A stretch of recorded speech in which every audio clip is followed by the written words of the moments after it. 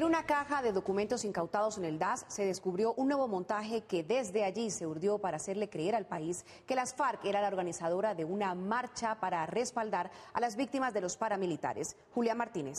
Carolina, el DAS ordenó inventar panfletos, afiches y pancartas para distribuir en todo el país, en los que aparecen las FARC elogiando a los detractores de Álvaro Uribe. El entonces gobierno Uribe promovió y organizó la marcha del 4 de febrero de 2008 en contra del terrorismo y de las FARC, que concentró a millones de colombianos que condenaron el secuestro y los ataques a poblaciones. Un mes después, el 6 de marzo de 2008, el Movimiento Nacional de Víctimas del Paramilitarismo y de Crímenes de Estado organizó una actividad similar para condenar los asesinatos de las autodefensas y de las fuerzas militares.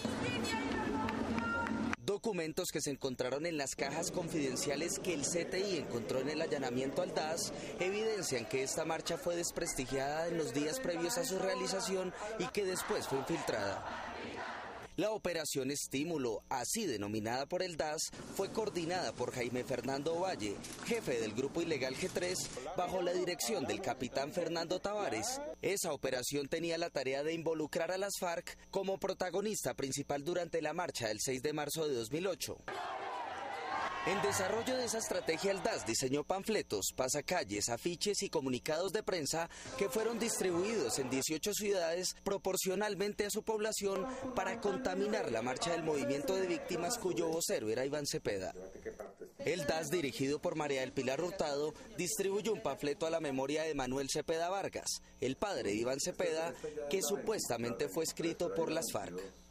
Las fotocopias también vinculaban a la senadora Piedad Córdoba con la guerrilla, quien era un objetivo institucional de ataque del presidente Uribe.